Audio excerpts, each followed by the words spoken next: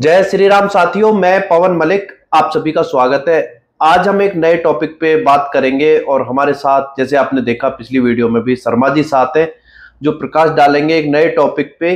काफ़ी लोगों को कंफ्यूजन है कि हमें ग्रेटर नोएडा में प्रॉपर्टी खरीदें या जो यमुना एक्सप्रेस अथॉरिटी का नया एरिया डेवलप हो रहा है, वहाँ पे हमें प्रॉपर्टी खरीदनी चाहिए। आज इसी पे डिटेल से बात करेंगे कि किसके लिए ग्रेटर नोएडा बेस्ट है, किसको ग्रेटर नोएडा में प्रॉपर्टी खरीदनी चाहिए और किसको यमुना में प्रॉपर्टी खरीदनी चाहिए?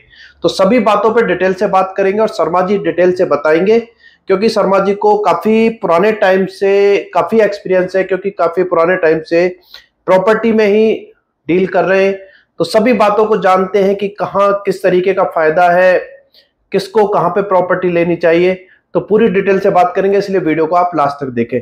नमस्कार शर्मा जी। नमस्कार जी मलिक साहब। जी जी जी। तो शर्मा जी सबसे पहले काफ़ी लोग जब हमें कॉल करते हैं तो वो यही पूछते हैं कि ग्रेटर नोएडा में क्या रेट है यमुना में क्या रेट है? ग्रेटर नोएडा जैसे कि काफ़ी टाइम पहले डेवलप हो चुका है तो रेट यहाँ पे ज़्यादा है यमुना में उसके मुकाबले रेट कम है चाहे किसी भी साइज़ के प्लॉट हो। जी। तो किसको ग्रेटर नोएडा में जाना चाहिए और किसको यमुना में जाना चाहिए? थोड़ा सा डिटेल में आप एक बार बताइए। देखिए मलिक साहब जी सर। ग्रेटर नोएडा जी। और यमुना। जी। दोनों ही अच्छी जगह हैं। बिल्कुल बिल्कुल।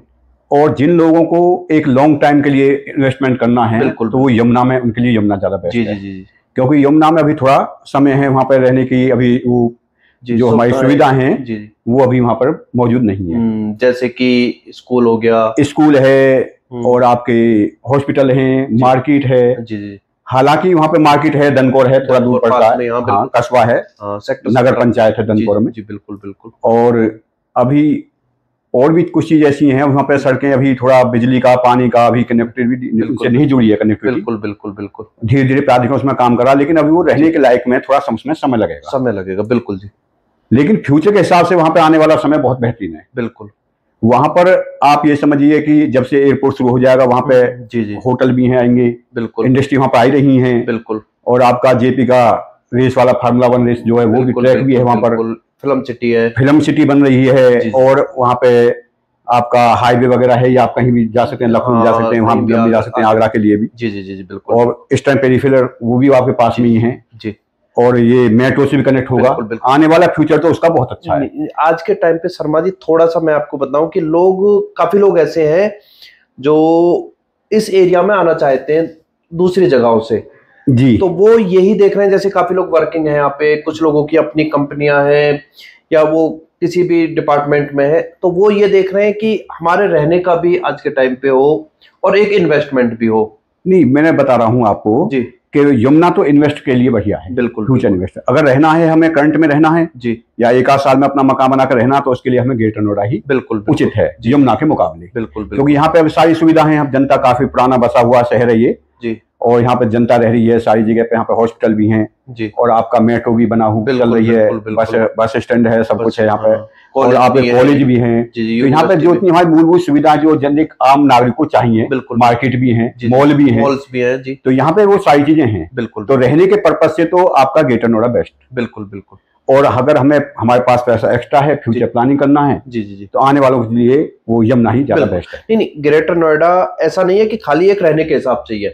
आप पिछला टाइम देखें जिन लोगों ने खत- रहने के लिए लिए थे प्लॉट यहाँ पे उनका पैसा भी बढ़ा है। ऐसा नहीं है कि खाली ये बस एक रहने के हिसाब से यहाँ रेट तो- नहीं बढ़ेंगे। देखिए मैंने बताया प्रॉपर्टी में तो ये समझिए जहाँ भी आप इन्वेस्ट कर रहे हैं बिल्कुल। चाहे रहने के पर्पज हाँ जहाँ आप रहने के पर्पज से करें यमुना में और यहाँ के गौतम नगर ज़िले के अंदर जी जी बिल्कुल बिल्कुल। नोएडा में ग्रेटर नोएडा में या यमुना में। जी जी। जहाँ भी आप करें तो रेट तो बढ़ना ही बढ़ना है। सभी जगह पे। सभी जगह बढ़ना है। इसमें कोई शक नहीं है। बिल्कुल बिल्कुल बिल्कुल। अभी ये समझिए थोड़ा यमुना थोड़ा डाउन आई है जी। वो तो खैर आता रहता है अलॉटमेंट के हिसाब से थोड़ा हो जाएगा अभी वो रेट बहुत ऊपर जाएँगे। जी जी। मैं आप बता रहा हूँ रेट तो बहुत ऊपर जाने वाले हैं। जी जैसे सुनने में आ रहा है कि अप्रैल में एयरपोर्ट स्टार्ट हो जाएगा। जब- तब तक हो सकता है फ़िल्म सिटी का भी काम हमें मौके पे कुछ देखने के लिए मिल जाए। तो उसको देखते हुए भी रेट तब भी बढ़ेंगे ऐसा नहीं है कि तो बहुत ही ऊपर जाने वाले हैं। जी जी जी। धीरे धीरे अगर थोड़ा बहुत अगर थोड़ा रुका है मार्केट बिल्कुल इसके बिल्कुल बाद बहुत ऊपर जाएगी। जी जी। इसमें कोई शक नहीं है। हाँ तो ये है कि जिसको अगर रहना है आज के टाइम पे जो देख रहे हैं कि हमें आज रहना है या अगले दो साल तक रहना है या अगर जल्दी में हमें रहना है तब वो ग्रेटर नोएडा के सेक्टर उसके लिए ग्रेटर नोएडा बेस्ट जैसे कि ग्रेटर नोएडा में कुछ तो मोस्टली ज़्यादा डेवलप है जो परी चौक के आसपास का एरिया है। अगर उससे आगे हम जाते हैं तो रेट भी कम है जैसे कि जू हो गया म्यू हो गए ईटा हो गया सेक्टर छत्तीस हो गया इस तरह के जो सेक्टर है उनमें हम प्रॉपर्टी देख सकते हैं। आज भी थोड़ा रेट कम है। परी चौक के आसपास का जो एरिया है जैसे अल्फ़ा बीटा गामा डेल्टा स्वर्ण नगरी इस तरह के जो जी। फुल्ली डेवलप्ड एक तरीके से सेक्टर है उनसे अच्छा है कि हम पीछे की साइड जाके जो और सेक्टर है ग्रेटर नोएडा के जहाँ भी पॉपुलेशन उतनी नहीं है यहाँ के मुकाबले तो उनमें भी हम प्रॉपर्टी खरीद सकते हैं क्योंकि रेट उनमें भी खरीद एक ऑप्शन और भी है इसके अलावा जी। जो किसान के सात परसेंट के रजिस्टर प्लॉट पे हम आएँगे शर्मा जी किसान हाँ, पे अलग उसमें भी आप जा सकते हैं। उस पर बात करेंगे। देखिए ऐसा नहीं है कि ग्रेटर नोएडा में भी पहले ग्रेटर नोएडा के एक बार रेट पे जैसे आज का रेट है छोटे साइज़ का अगर प्लॉट हम जाए तो डेढ़ लाख दो लाख रुपए मीटर के साठ मीटर का अगर हम देखें तो दो लाख के आसपास है कुछ कम चीज़ें मिल जाती है अच्छे सेक्टरों में अच्छे सेक्टर में जो दो लाख के आसपास बाकी बड़े साइज़ में हम जाते हैं 120 या एक सौ बासठ दो सौ मीटर तीन सौ मीटर तो इनके रेट तो कहीं अभी खास इतने ज़्यादा उस हिसाब से नहीं है। आप नोएडा में देखेंगे तो आपको दो लाख तीन लाख चार लाख रुपए मीटर तक का भी रेट देखने के लिए मिलेगा। तो वो सब चीज़ें भी यहाँ पे भी आएँगी ग्रेटर नोएडा में भी आपको देखने के लिए मिलेंगे क्योंकि ग्रेटर नोएडा का भी आप देखें तो एक इंडस्ट्रियल एरिया जो है आज के टाइम पे ज़्यादा ग्रो कर रहा है। पहले इंडस्ट्री वगैरह इतना नहीं थी खाली एक एजुकेशन पे ही डिपेंड था जो आपका नॉलेज पार्क टू और थ्री में जो कॉलेज यूनिवर्सिटी है। उन्हीं पे ही एक तरीके से मोस्टली डिपेंड था। मगर आज के टाइम पे आप देखें तो जो ग्रेटर नोएडा का इंडस्ट्रियल एरिया है जो सेक्टर है वो काफ़ी डेवलप हो रहे हैं काफ़ी कंपनियाँ वहाँ पे आ रही हैं और भी आगे आप न्यू नोएडा इससे बिल्कुल लगा हुआ है। तो चीज़ें यहाँ भी महँगी होंगी ग्रेटर नोएडा में। रेट तो मैंने बता रहा हूँ रेट तो बढ़ेगा बढ़ेगा यहाँ पे। यहाँ पे भी काफ़ी रेट हो गए पहले कम थे। बिल्कुल बहुत उछाल मारा रेट होना यहाँ पे।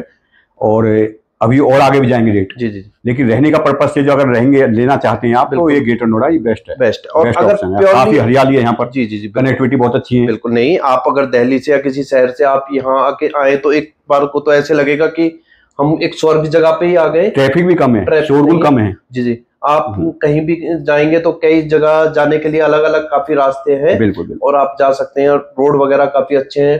और जैसा कि अथॉरिटी है ग्रेटर नोएडा हो या नोएडा हो या यमुना अथॉरिटी हो तो ग्रेटर नोएडा अथॉरिटी है तो वो टाइम टाइम पे एरिया को जल्दी जल्दी डेवलप भी करती रहती है। तो उस हिसाब से ग्रेटर नोएडा बेस्ट है रहने के हिसाब रहने के हिसाब और आपको इन्वेस्टमेंट भी है ऐसा नहीं है कि इन्वेस्टमेंट नहीं है। इन्वेस्टमेंट भी है हाँ, अगर आप प्योरली इन्वेस्टमेंट देख रहे हैं तब आपके लिए यमुना बेस्ट है। यमुना आने वाले फ्यूचर यमुना का भी बहुत अच्छा यमुना का बहुत बहुत अच्छा। फ्यूचर है उसका जी जी जी। अगर जैसे हाँ। हम यमुना को देखें जी। शर्मा जी एक बार की आज तो वहाँ रहने के हिसाब से अभी नहीं है टाइम लगेगा हो सके दो साल लगे थोड़ा समय लगेगा हाँ। छह साल लगे आठ साल लगे वो टाइम तो डिपेंड आज हम कहते हैं कि पाँच साल में बहुत डेवलप हो जाएगा तो वो कहीं ना कहीं ठीक नहीं है। बाकी वो अथॉरिटी पे डिपेंड करता है किस तरीके से डेवलपमेंट होता है। तो बाकी चीज़ें तो सभी वहाँ भी सुविधाएँ देखने के लिए मिलेंगी। पाँच साल बाद देखने को मिले छह साल आठ साल दस साल कभी भी। मगर एक रेट जो है वो क्या आप एक अनुमान आप सोचते हैं? जैसे आप पिछले दस पंद्रह साल से यमुना में ही काम देख रहे हैं। तो एक क्या देखते हैं कि पाँच साल बाद काफ़ी लोग पूछते हैं जैसे आज चलो इन्वेस्टमेंट करता है। कोई भी अगर इन्वेस्ट करता है तो दो साल चार साल पाँच साल का हिसाब लेके चलते हैं। पाँच साल के आसपास आप क्या रेट देखते हैं? जैसे मोस्टली वहाँ पे अगर हम रेजिडेंशियल में जाते हैं तो 300 मीटर का ही हम एरिया एक देखते हैं मिनिमम जो एरिया एक माना जाता है। क्योंकि 300 मीटर के ही वहाँ सबसे बड़ी सबसे ज़्यादा हाँ। प्लॉट है। सेक्टर 18 पूरा 300 मीटर से भरा हुआ है। सेक्टर 20 में भी काफ़ी सात आठ पॉकेट है। जो 300 मीटर से है तो क्या रेट आप एक बार के लिए वहाँ पे देखते हैं पाँच साल बाद पाँच साल छह साल पाँच साल बाद मैं आपको ये मान चल रहा हूँ जो यहाँ पर अभी समय रेट है। जी जी जी। यमुना में। जी। इससे डबल तो निश्चित होना ही है। जी चाहे कोई भी साइज़ कोई भी कोई भी साइज़ है। हम्म, चाहे छोटा साइज़ है बड़ा साइज़ है। डबल से भी ज़्यादा हो सकते हैं। हो सकते हैं। जब एयरपोर्ट हाँ जिस दिन एयरपोर्ट शुरू हो जाएगा रेटों में बहुत ज़्यादा उछाल आने वाला है। बिल्कुल आने वाले समय में। बिल्कुल, बिल्कुल और उसके बाद में जब वहाँ पे और चीज़ें बसेंगी ना पाँच साल में बहुत कुछ डेवलप हो जाएगा रास्ते भी जुड़ जाएँगे। बिल्कुल बिल्कुल। और बिजली पानी का भी व्यवस्था हो जाएगी। और जो आपके हॉस्पिटल हैं कॉलेज हैं स्कूल छोटे बच्चों के हैं हालाँकि यूनिवर्सिटी वहाँ पे हैं सेक्टर सब उसमें दे रखे हैं। में जी जी सत्रह में है जी। लेकिन अभी और ज़्यादा बनेंगे छोटे बच्चों के लिए भी स्कूल वगैरह। जी। तो वहाँ पे बहुत ज़्यादा मार्केट भी मॉल भी ये सारी चीज़ें बनने वाली हैं। तो रेट बहुत ऊपर जाएँगे। बिल्कुल क्योंकि उसका एक रीजन है। जी। एक तो एशिया का सबसे बड़ा एयरपोर्ट है नॉट इंटरनेशनल एयरपोर्ट बिल्कुल अपने उसमें भी एक बहुत बड़ी बात है कि पूरे हिंदुस्तान का नहीं पूरे एशिया का सबसे बड़ा एक एयरपोर्ट है। तो और एयरपोर्ट के ही आपके दस बारह पंद्रह किलोमीटर के एरिया में ही ये सब चीज़ें हैं जो रेजिडेंशियल प्लॉट है अभी के टाइम पे जो है। तो रेट तो बढ़ेगा ही और जो फ़िल्म सिटी है वो भी एक बड़ी बात है बहुत बड़ी बात है। एजुकेशन का भी ऐसा नहीं है कि कुछ ही सेक्टर है बहुत बड़े बड़े और काफ़ी सेक्टर है बहुत बड़ा एरिया है जो आपका एजुकेशन का हो या इंडस्ट्रियल एरिया हो काफ़ी इंडस्ट्री आज के टाइम पे वर्किंग में है जैसे कि आपका सेक्टर बत्तीस में सेक्टर उनतीस में जी। और भी जैसे मेडिकल डिवाइस पार्क है सेक्टर अट्ठाईस उसमें भी काफ़ी काम चल रहा है। तो एरिया तो डेवलप होगा खैर टाइम थोड़ा लगेगा मगर ये देख के लगता है कि रेट तो हमेशा बढ़ेंगे ही। ये तो थोड़ा बहुत उतार चढ़ाव आता है कि अलॉटमेंट आ गई। अब दो लाख लोग हैं वो जो लोग यहाँ प्रॉपर्टी लेना चाहते हैं वो भी समझते हैं दो लाख लोग बहुत लोग होते हैं। उनमें से भी अगर मार्केट में खरीदने के लिए हज़ार लोग भी आ जाए रिसेल में तो उतने भी प्लॉट नहीं मिल पाएँगे। उसी से मार्केट ऊपर चली जाएगी। दो लाख बहुत क्वांटिटी होती है। अभी तो सबने भरा है चाहे प्लॉट की संख्या कम हो मगर सभी यही सोचते हैं ना जाने हमारा निकल आए हमारा निकल आए क्योंकि रेट कम है अलॉटमेंट का उसको देखते हुए। तो रेट तो हमेशा बढ़ेंगे। जब दो दो लाख लोग अप्लाई कर सकते हैं तो रीसेल में भी खरीदने ज़रूर आएगी। आप अंदाज़ा खुद ही लगा सकते हैं। जी जी बिल्कुल बिल्कुल। अगर एक परसेंट भी उसके अंदर ओरिजिनल बायर है बिल्कुल। नहीं नहीं दो लाख का तो आप उसी से अंदाज लगा रेट कहाँ पे जाएँगे? नहीं अभी भी हमारे पास कॉल आते हैं कि मलिक साहब अगर नहीं निकलता है तब हम आपसे लेंगे। ज़रूर लेंगे आप हमारे लिए इस तरह की प्रॉपर्टी निकाल के रखना। इस तरीके तो कॉल आते हैं। तो इससे अंदाज़ा लगता है कि लोग तो खरीदने के लिए हैं। नहीं बिल्कुल हैं। और अभी आपको ये ड्रॉ हो जाएगा उसके बाद भी रेट में उछाल आने वाला। उछाल आएगा तो मेरा भी यही है कि अभी सही समय है वहाँ पे इन्वेस्ट करने का समय बहुत अच्छा समय है जो लोग करना चाहें तो इस समय इन्वेस्टमेंट कर सकते हैं ये नहीं है कि जैसे देख रहे हैं कि रेट तो कम हो रहा है ये तो हर बार अलॉटमेंट तो हुआ है। ये तो पिछली अलॉटमेंट थी उसमें ज़्यादा कम होने वाला नहीं है जो लोग अंदाज़ा लगाए बैठे हैं बहुत ज़्यादा कम होगा उतना कम होने वाला नहीं होने वाला नहीं। ये बता रहा हूँ। और चीज़ें बढ़ेंगी। बढ़ेंगी जी। तो ये क्लियर है कि अगर रहने का हिसाब आज आप देख रहे हैं आज के हिसाब से तो आप ग्रेटर नोएडा सेलेक्ट कर लें बहुत बिल्कुल बहुत बिल्कुल काफ़ी अच्छे अच्छे सेक्टर है।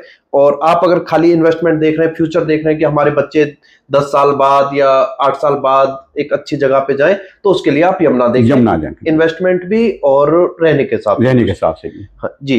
अब क्या है कि शर्मा जी देखिए प्रॉपर्टी के रेट काफ़ी ऊपर है। सभी लोग करोड़ दो करोड़ तीन करोड़ की प्रॉपर्टी नहीं खरीद सकते।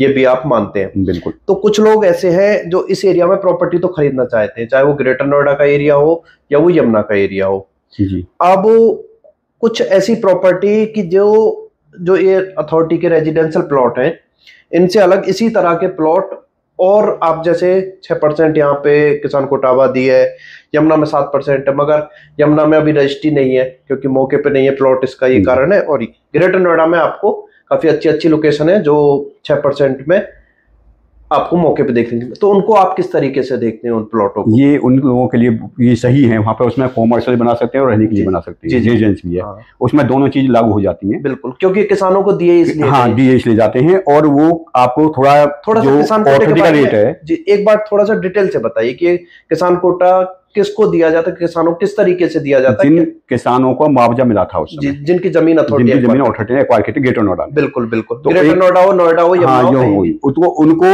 किसानों को छह परसेंट दिया था बाद में वो बढ़ा करके दस परसेंट कर दिया। दस परसेंट गेट ऑन जी बिल्कुल बिल्कुल।